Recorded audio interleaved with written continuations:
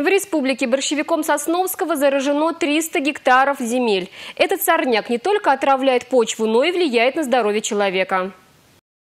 Для уничтожения этого растения требуется неоднократная обработка пораженных участков химическими препаратами. На эти цели направят почти 9 миллионов рублей. Вокруг населенных пунктов и пойм рек предусмотрена механическая зачистка участков. На остальных площадях обработка гербицидами. Специальные бригады будут созданы в каждом районе. Их обеспечат необходимым оборудованием, защитными костюмами и химикатами.